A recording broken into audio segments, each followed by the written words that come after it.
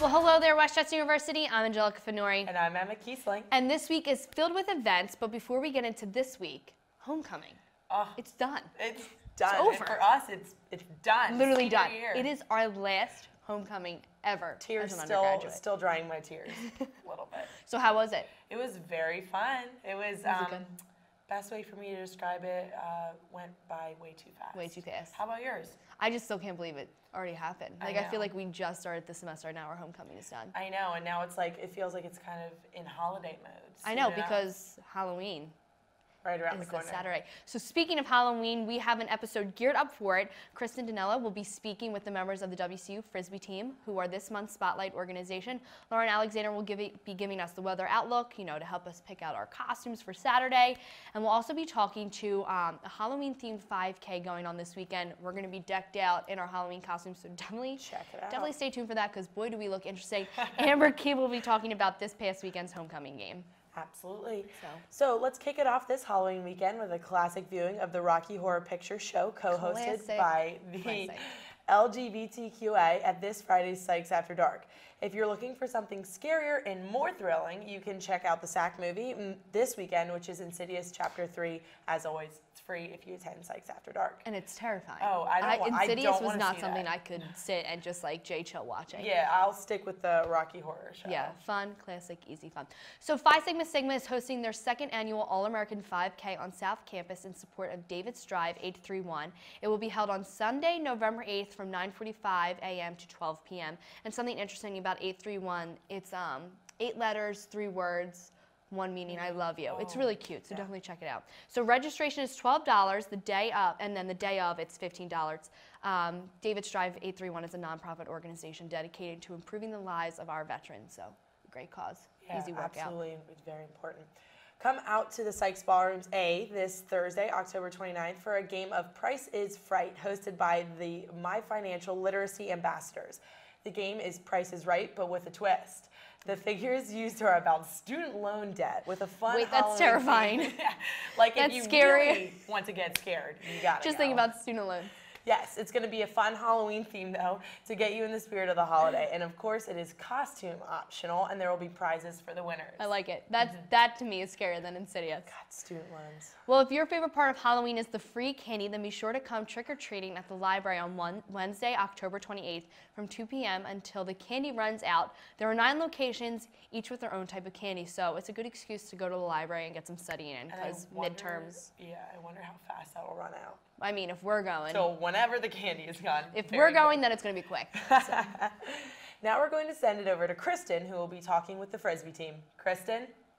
Thank you, Emma and Angelica. I'm here with Brendan and Jimmy from the men's ultimate frisbee team. They were nominated through Random Excellence for their outstanding involvement in their organization. Hi guys, how are you doing today? Good, good.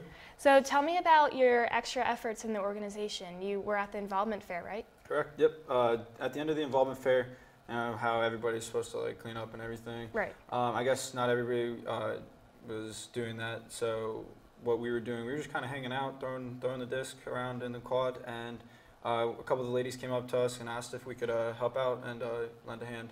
And you know, there were seven or eight of us, and you know, we definitely, I guess, really helped them out. The fact that we're here, uh, you know, being recognized for this awesome achievement. So. That's great.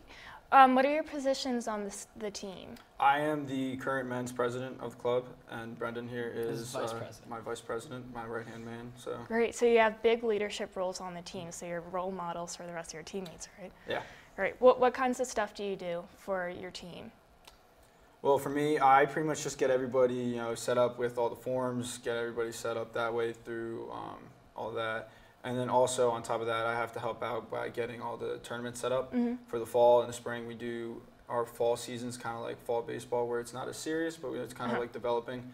Uh, but then come the spring is when it really kicks into gear when we go A and B, which is our varsity and uh, kind of our developing team B team. So That's great. So how often do you guys meet in practice? Uh, we practice on Mondays and Thursdays from 7 to 10 down on South Campus at Vonnie Grow. That's a lot of time, like dedication, right? yeah. nice. So what's in store for your team for the rest of the year? Uh, we have one more tournament left in the fall in uh, Mercer, New Jersey on the weekend of the 14th and the 15th of November. Okay. So that'll round out our fall season. And then in the spring, we'll have three tournaments, and like Jimmy said, we'll split into our A and B squad just to give us a better representation of who we're looking to develop and who's kind of our, our key players.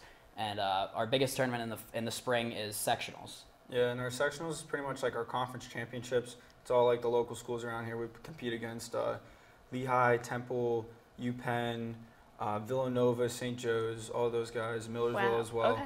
Um, and then uh, depending on how many bids we earn, we are able to succeed up to regionals. And the past three years, ever since I was a freshman here, I'm now a senior.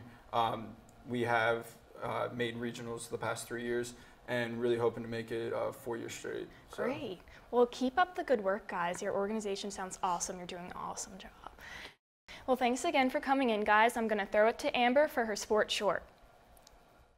Thanks, Kristen. Homecoming came and went, but our Rams football team survived a close victory to Bloomsburg 32 to 22 on Saturday in Farrell Stadium. Sophomore Shaquilla James returned an interception 92 yards for a score with 19 seconds remaining over the PSAC East rival Bloom. An announced homecoming crowd of 6,347 fans rallied as Bloomsburg took the lead 22 to 19 with 3 minutes and 49 seconds to play in the game.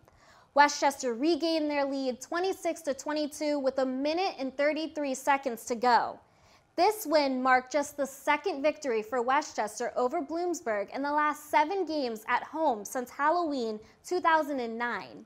Defensive end George Ship was named the PSAC East Defensive Player of the Week. It was announced by the PSAC Conference. Ship was part of a defense that limited the Huskies' ground game to 75 yards and just 181 yards of the total offense.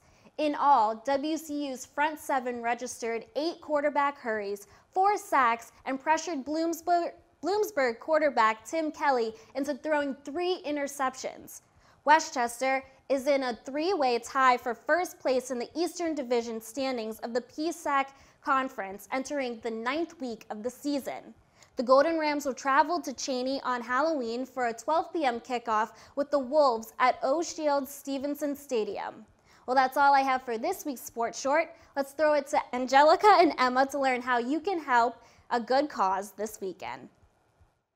Thanks, Amber. So, as you guys can see, Angelica is ready for the upcoming holiday. I look great, don't I? Yes, you do. And we are also here today with Emily and Megan. They're from the executive board of Bringing Hope Home, and they're here to talk to us a little bit about their organization as well as their upcoming 5K event. So, let's start with the 5K. Tell me a little bit more about it. So the 5K is this weekend. It's on November 1st, this Sunday, and we are having a Halloween costume 5K. So these girls ready. are ready for the We're 5K. going to line up right after this. Running through the streets. Our registration starts at 10:30, and the race will start at 12.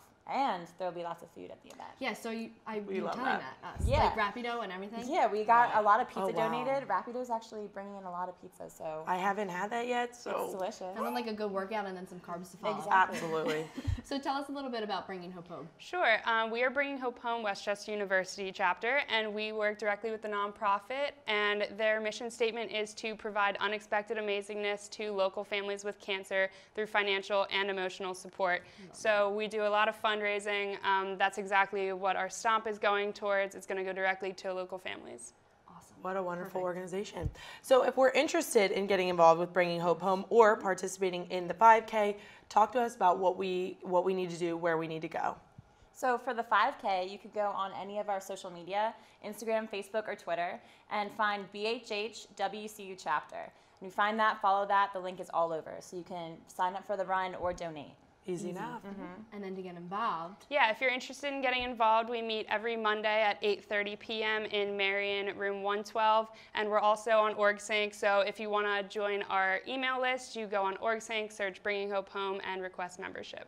Easy enough. Awesome. Mm-hmm. So now there's a goal, right? You guys were talking about a goal early, earlier. What Yep, um, we have a goal of helping three families through our run. Each family gets about $1,500 to pay whichever bills they find necessary. So our goal is $4,500 of net profit, and we're really close to that. We just need a couple more people to register, Wow. a little bit more donated, and we'll totally blow that out of the water. Love to hear that. That's great. well, you guys are killing it. Awesome. So if you want to get involved, if you want to dress up and go run through the streets of Westchester, definitely check these girls out. Um, now we're going to go throw it over to Lauren with some weather. Hopefully we have sunny sun for November 1st. Lauren? Thanks, guys. We're in for another cool week, Westchester. Our highs stay in the upper 50s to mid 60s throughout the week. Wednesday will be our warmest day, but there is a good chance of rain. By the weekend, the clouds clear out, giving us mostly sunny skies. It will be cool Saturday night for the trick or treaters with an overnight low of 41. And if you're out late partying on Halloween, no worries, you'll get an extra hour of sleep to catch up. Remember to turn your clocks back by one hour as daylight savings time officially ends this Sunday at 2 a.m. That's about it for this week's weather outlook. Back to you, Angelica. Well, thanks, Lauren. The weather looks nice. Yeah. It's getting chillier. Yes. Um, so before we conclude this episode, I want to add one more event to the list. On Tuesday, November 2nd, the Abbeys will be having an open mic night. Open mic night. That's my biggest tongue twister. Um, in honor of the fight for Fred. So continue support. Definitely go check it out. It's going to be in Sykes Common Ground from 7 on. Um, you can see performances. You can offer to perform. We'll have baked goods. It's definitely a great cause, and it's been doing really, really well. And I think if we all keep coming together, we should see Freddie soon. Absolutely. Well, that concludes this episode of WCU Weekly. If you have anything you would like to be read on air or would like to get involved with WCU Weekly, be sure to email us at wcuweekly at wcupa.edu. And be sure to follow us on Facebook for segments, events, and much more. Well, until next week, I am Angelica Finori. And I'm Emma Kiesling. Have a great week, Westchester University. And an even better Halloween weekend. goal of the season in the 33 minute. 33rd minute. All right. Take it from the top. Well, that's all I have for this week's sports short. Let's throw it to Emma and, and Angelica, defensive East defensive end, PSAC East Defensive Player of the Week, and is announced by the PSAC conference. Ship was part of a defensive. Uh, okay, sorry. Can I start? Well, that's all I have for this week's sports short. Let's throw it to El- Angelica and Emma to. Well, that's all I have for this week's sports short. Let's throw it to Angelica and Emma to learn how that you. Ah, okay, sorry. What the heck?